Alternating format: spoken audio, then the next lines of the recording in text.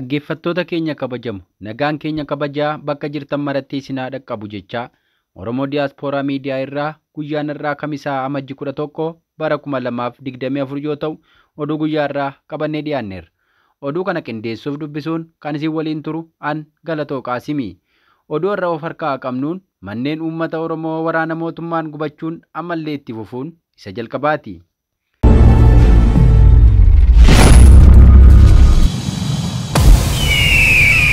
Dhiyaansuun hokkora ulaa galaanaa uumame sababeeffachuun shamarreen Oromoo Somaaliyaa keessatti ajjeefamuu ishee isin dhageessifna.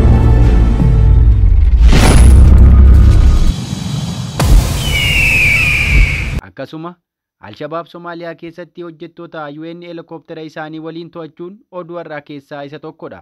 Dabalataan odeeffannoowwan kaanis of harkaa qabnaa hanga dhumaatti nu caqasaa jechaa kallattumaan gara sanatti waliin dabarra.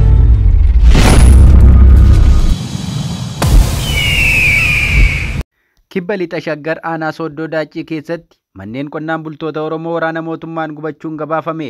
Lola hammaataa waggoottan shanii oliif Oromiyaa keessatti adeemaa jiruun dararaan hawaasa irra ga'uu yaachisaa ta'aa jira.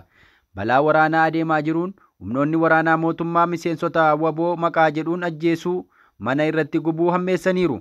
Haalli kun bara haaraa kuma lamaaf digdamii afur keessallee jabaatee itti fufiinsaan raawwataa kan jiru ta'uu kan eeru gabaasni arganne dheengaddaa amajji sagal bara kuma lamaaf digdamii afur aanota magaalaa shaggarii fi aanaa sooddoo daacii keessatti waraanni mootummaa sakattaa waboof socho'u jedhaman uummata nagaa meesha maleeyyii duraa manneen gubuu isaanii eerameera. Odeessaa Oromoo Diyaaspooraan argateen akka mirkaneeffametti guyyuma kana godina kibba lixa shaggar aanaa sooddoo daacii ganda gaalaa moollichaa keessaa manneen uummata nagaa hedduu badii tokko malee maqaa waraana bilisummaa Oromoo qallabdu jedhuun gubanii jiru. Namoota manneen jalaa gubate keessaa kan maqaan argame obbo Warquu Idoo mana lama midhaanii fi qabeenya mana keessa jiru hunda waliin obbo Lammaa Baqqalaa mana lama qabeenya waliin obbo Saxxoo Haayiluu obbo Illoo Baacaa fi Taaddee Gonjobaati. Caasaaleen mootummaa Itiyoophiyaa sochii waraanni bilisummaa Oromoo giddu gala biyyattiitti taasisaa jiru haleellaa naannawaa Finfinneetti raawwataa jiruun raafamuun hawaasa akka malee miidhaa akka jiranis gabaasichi caqasee jira. Odeessa itti aanee qabnuun Somaaliyaa keessatti intalli Oromoo tokko ajjeefamuun gabaafame. Erga dubbiin ulaa galaanaa eegalee as hawaasni Oromoo Somaaliyaa fi Somaalilaand keessa jiraatan dararaa guddaa keessummeessaa jiru. Inumaa gabaasaa kaleessa galgala ba'een ammoo intalli Oromoo tokko ajjeefamuu himameera.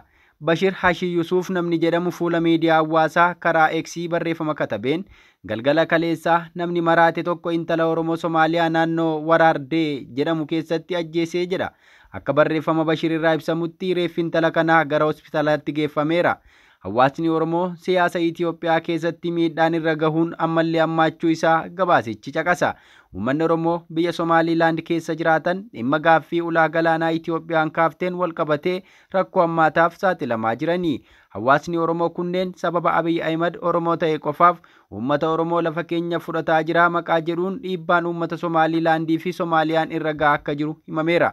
Paartileen mormituu Somaalilaand hawaasa Oromoo uummata kuma dhibba shan ta'an kan biyyattii keessa jiran buqqaasuun akka barbaachisu gaafataa jiru. Rakkoo akka qoosaatti eegale kun balaa guddaa hordofsiisuuf akka adeemu himamaa jira. Mootummaan Itiyoophiyaa nageenya lammiilee isaatii osoo hin tiksin maalna dhibdeedhaan gaaffii balaaf hamaa akkanaa dhiyeessuun akkaan nama yaaddessaa jedhame.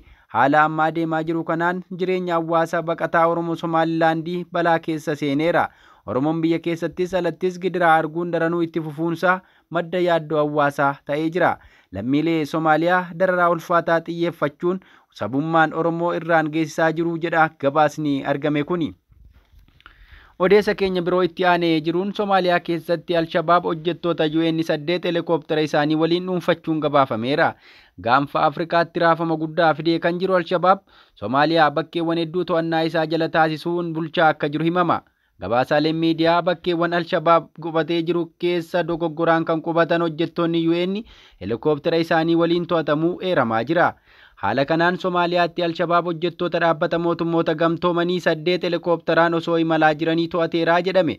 Qondaala nageenyaa Somaaliyaa naannoo Giludug kan ta'an Mohammad Abdii Aadan hojjettoonni UN helikooftara isaanii waliin Alshabaabiin ugguramuu kan mirkaneessan yoo ta'u, kanneen Alshabaabiin to'ataman imaltootaa fi paayileetota dabalatee hojjettoota xiyyaarichaa akka ta'anis himaniiru.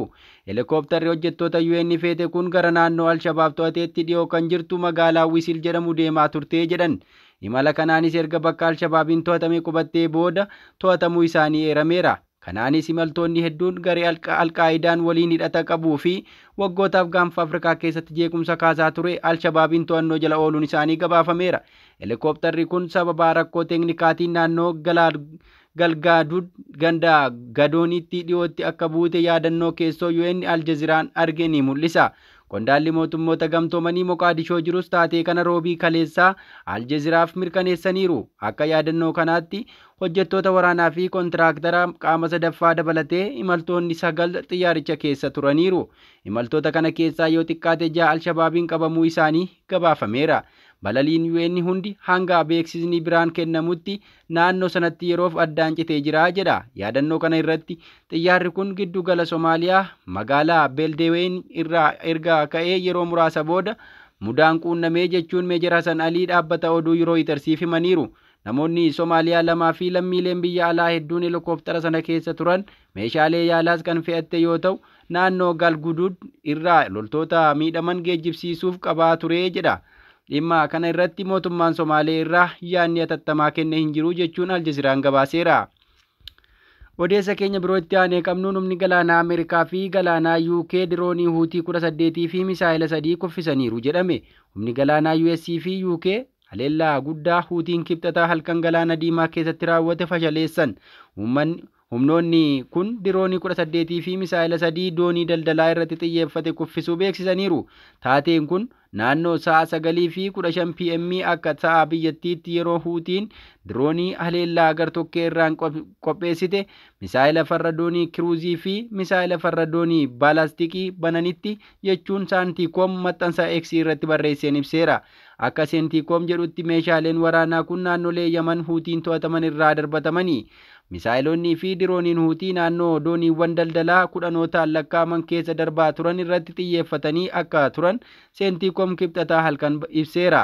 Diroonii fi misaayilonni kun hundi xiyyaarota waraanaa doonii humna galaanaa US iseen hawar dooniiwwan barbadeessitootaa humna galaanaa US sadii fi UK HMS Diyaamandii irraa dhufaniin kuffaniiru jedha seentiikoom.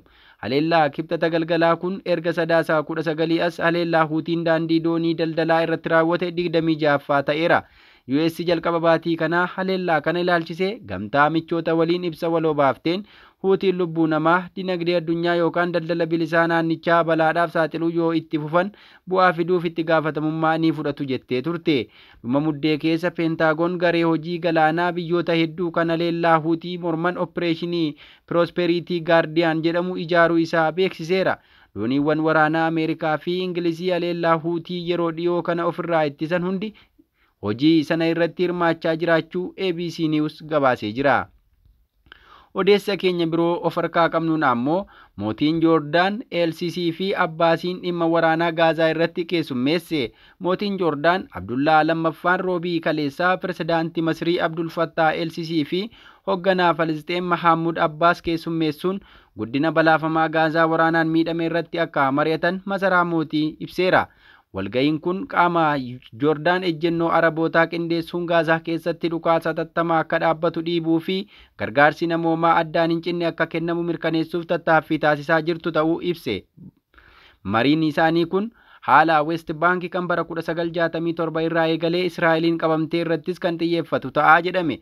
Mootiin Abdullaa dilbata walga'ii ministeera haajaa alaa Ameerikaa Antoonii Biliinken waliin taasisan Ameerikaan Israa'el hatattamaan dhukaasaa akka dhaabdu dhiibbaa akka gootuu fi rakkoo namoomaa waraana Gaazaatiin fiddetti xumura akka gootu gaafataniiru. Dhaabbileen gargaarsaa haala hamaa naannoo Falisxiin keessatti mul'ate kan akeekkachiisan yoo ta'u waraanni kun kan ka'e erga hidhattoonni Hamaas onkoloolessa torba haleellaa kanaan dura ta'ee hin beekne Israa'el keessatti raawwachuun namoonni kuma tokkoof dhibba tokkoof afurtama du'aniin booda akka ta'e lakkoofsi AFP baasee mul'isa.